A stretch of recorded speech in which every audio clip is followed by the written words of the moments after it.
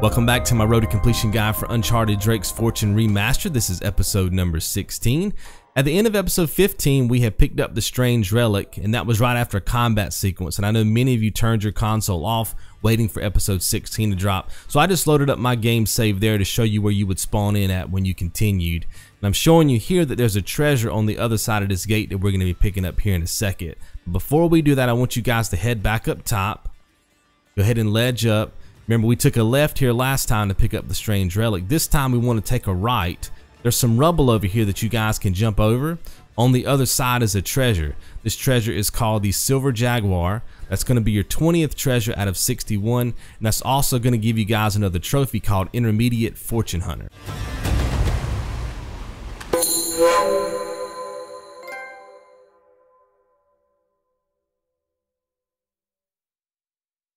Alright guys, let's make our way into the next combat area and I want you guys to do an ammo check. If you feel like you're low on ammo, when you get to the top of this ramp, restart your checkpoint. You guys will spawn in at the bottom of the steps with full ammo, you see that? And you need this ammo, it's very important because we're going to have to kill most of the enemies in this next combat wave from this position. So let's go ahead and swap the camera over to our left shoulder. I want you guys to start working these angles. You're going to see some enemies start to flood in through this archway. Go ahead and kill them. As you kill the enemy, slowly make your way up the steps. That's going to give you guys more angles. You can see more enemies. Now you have to watch out for the shotgunner. Notice I get a headshot there. I'm completely covered behind that wall. If you guys don't feel comfortable doing that, go ahead and press O and take cover behind that wall and you can kill that shotgunner with blind fire. Now at this point, we want to make sure that we kill the enemy that's behind the truck before we advance. So notice where I'm pointing at now. That's one possible location where he'll flash out and try to get some shots at you. And this is the other possible location to the right of the truck, okay? So a lot of times if you guys shoot the red barrels, if he just happens to be behind the truck, when you shoot the barrels, you guys will kill him. If not, you're going to have to shoot him like I am here. There's also an angle you guys can get right there. See that? It's just in between the crates and the bottom of the truck. You guys can kill him that way as well, but you don't want to advance through this tunnel until that enemy is dead.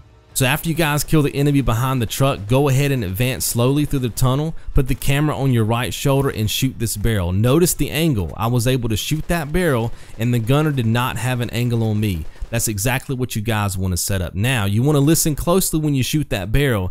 You will be able to hear if an enemy dies or not. If you know for a fact that the enemy is dead, then you can focus on the gunner. I'm just showing you there where the enemy might be. But if you don't think you killed the enemy, do not advance on the gunner. You just want to wait in that tunnel, keep your um, reticle up top on that platform, and the enemy will eventually flash to the right. When he does, you guys can shoot him and then advance on the gunner. And there's the gold mosaic Inca earring. That's treasure 21 of 61. That's the treasure I showed you guys earlier that was on the other side of the gate. So once you guys clear out that combat area, just run back and grab that treasure. Now we can just run around and collect ammo. There's one enemy that's going to flash out in the tunnel up here. I'm going to show you guys how to kill him. Uh, if you're not comfortable killing him the way that I show you guys on screen, there's some crates you guys can hide behind and just blind fire kill him. Whichever one of those uh, methods works better for you guys. And then we have a little story point that we need to hit before we can advance to the next combat area. And that's when I'll come back in with commentary.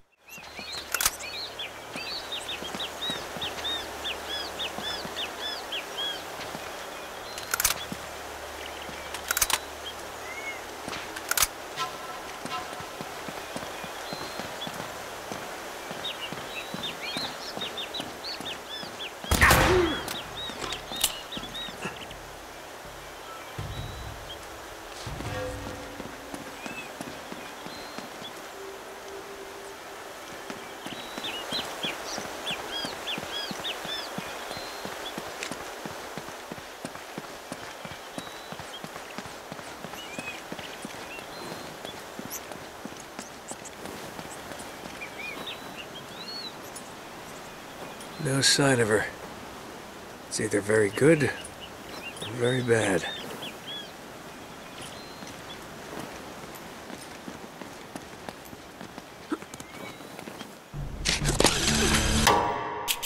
So at this point, we have some enemies advancing on our position, and we're going to use some red barrels to our advantage to thin them out, okay? So notice we got three enemies pushing up on this first red barrel. Boom, get those kills, and then there's an enemy at the back that red barrel. Boom. So that's four kills, four enemies we don't have to worry about. You guys can destroy the lock on that gate. Then I want you to advance over here to this position, hide behind this piece of cover, shoulder swap, and get these kills. Now your only real threat at this point is going to be the shotgunner, but if you guys stay back here and work these angles, you guys will be safe. Now, if for whatever reason you guys didn't get as many kills as I did using the red barrels, of course you guys will have more enemies down here that you'll need to kill. You can even go down there behind the crates and actually use your cover system behind the crates and see if you can get some kills that way. Uh, sometimes they'll even rush you and you guys can get blind fire kills. But normally if you take out four enemies or so using the red barrels, you'll just have to come down here, kill the enemy that's on the, uh, the main gun, and then kill the shotgunner, and you guys will be good.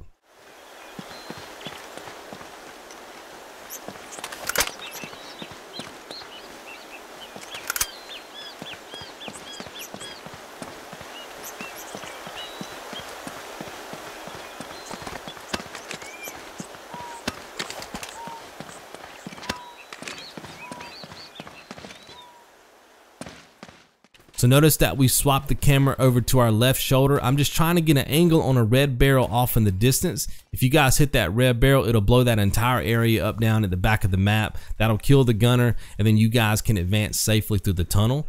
Go ahead and ledge up here and then immediately press O to ledge back down. Shoot underneath the torch. That will cause the enemy to know that you guys are on the map. He'll advance to cover and you guys can kill him with a headshot. And now we want to pick up a few items in this area. We want to grab the two grenades on the table, restock our ammo. There's also a treasure over here in the corner. It's called the Golden Spoon. That's going to be treasure 22 of 61. Then we have an M79 grenade launcher up the stairs. I definitely want you guys to pick that up. Very important that you guys have both of these grenades and the M79 grenade launcher before we get to the next combat area.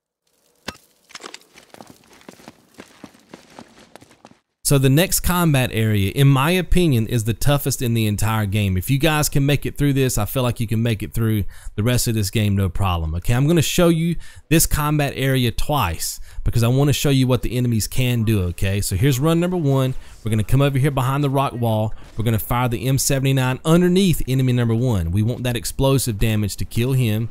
There's enemy number two. Again, we're aiming at the wall, not the enemy. Then I want you guys to focus on killing this enemy. You can do so with blind fire or you can peek out of cover, whichever one feels comfortable for you guys. So after you guys kill enemy number three, I want you to focus on enemy number four. He's going to be dropping down from this top section. Notice that I'm focused on the wall. As soon as he splashes, boom, take him out with the M79. For enemy number five, I want you guys to toss a grenade here.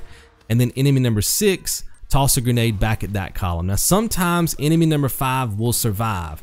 If enemy number five survives, restart checkpoint, try again, okay? Because he tends to flank to the right and things get crazy. There's enemy number six. He's either going to be on the right or the left side of that column. And now we're pushing into the next wave. So just wait here behind this piece of cover. Boom, there's enemy number seven. Take him out with some blind fire. Enemy number eight, we're hoping that he pushes us aggressively here. Now, sometimes he will flank wide and to the right. If he does, that's pretty dangerous and you guys might have to restart checkpoint. You're hoping that he pushes you exactly like he's pushing me, okay? And I'll show you that here in a second. Enemy number nine, he's either going to be uh, where he was or where he is now. You guys can take him out with a sweet headshot. Now you want to run around and grab some ammo so we can set up for the next wave. So after you guys grab all the ammo that you can, duck down behind this piece of cover. We have two more shotgunners left. Now I want you to notice what happens here. See how he goes around the column. He flanks wide and to the right.